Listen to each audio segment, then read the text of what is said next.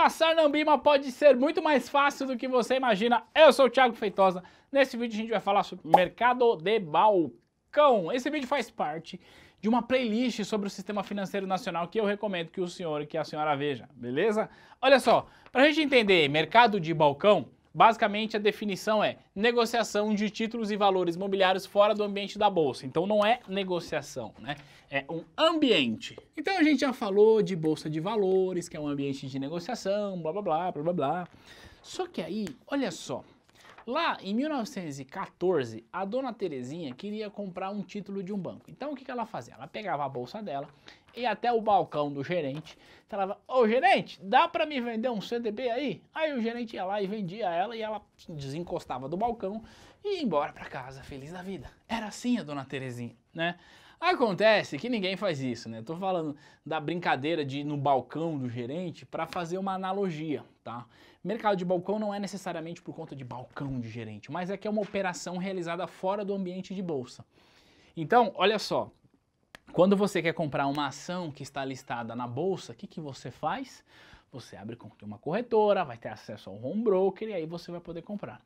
E se você quiser comprar um título que não está listado na bolsa, como é que você faz isso? Explica aqui para mim. Ah, ah, através do mercado de balcão.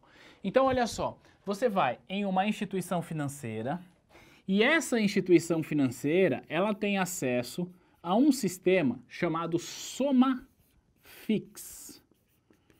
Nesse sistema SomaFix, todas as instituições financeiras têm acesso ao que está sendo vendido e o que está sendo negociado.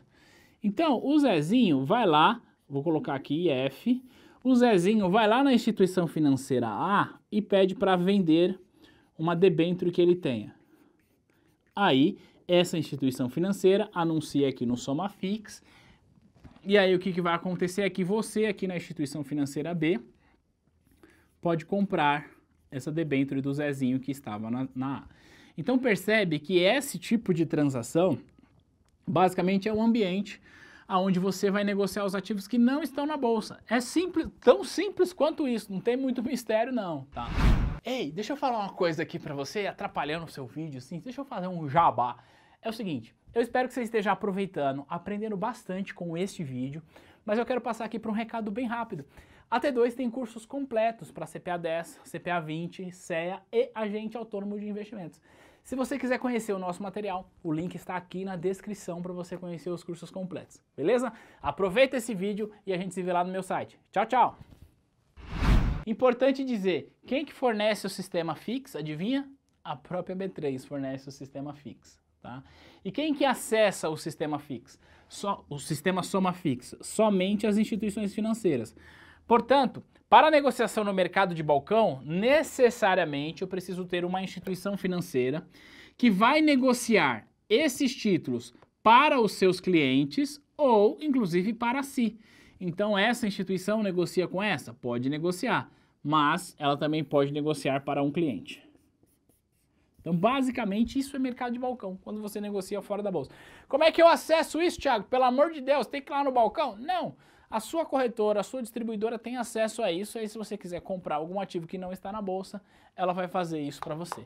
Importante, tá? O mercado de balcão também é supervisionado pela CVM, portanto ele também precisa obedecer regulações da CVM, mas a gente fala que ele é um mercado um pouco mais flexível do que o mercado de bolsa. Porque no mercado da bolsa existem muitos parâmetros, muitas regras, muitos critérios. E aí as empresas que não atendem esses critérios, elas vêm para cá. E aqui você tem um pouco mais de flexibilidade na negociação. Então, vamos pegar aqui um exemplo de um contrato futuro. Um contrato futuro na bolsa, ele tem quantidade, ele tem prazo certinho, tá? Se você faz um contrato a termo na bolsa, mesma coisa, tem o prazo certinho para vencer. Se você faz um contrato a termo via mercado de balcão, você, junto com a contraparte, pode escolher a quantidade, o valor, a taxa. Então ele é mais flexível, tá? Então essa é a vantagem. A desvantagem é que a formação de preços dela não é transparente, né? O investidor não tem acesso a saber como é que o preço está se formando. Beleza? Então basicamente isso é mercado de balcão. A gente vai separar no mercado de balcão organizado, que negocia através desse sistema, e a gente vai separar através de um mercado de balcão não organizado. Importante, não existe ambiente físico para negociação. Essas negociações normalmente são feitas via mesa de operação da instituição. Então o cliente vai ligar lá na instituição para falar, ah, eu quero comprar tal coisa, ou eu quero vender tal coisa. Então a mesa de operação da instituição faz essa operação. O que difere o organizado do não organizado é que o organizado é via sistema e este não, embora os dois são fiscalizados pela CVM. Beleza? Então nessa aula a gente falou de um jeito bem prático sobre mercado de balcão. Conta pra mim se ficou claro, deixa aqui um comentário, se você gostou dessa playlist, deixa aqui um joinha, a gente se vê no próximo vídeo. Tchau, tchau!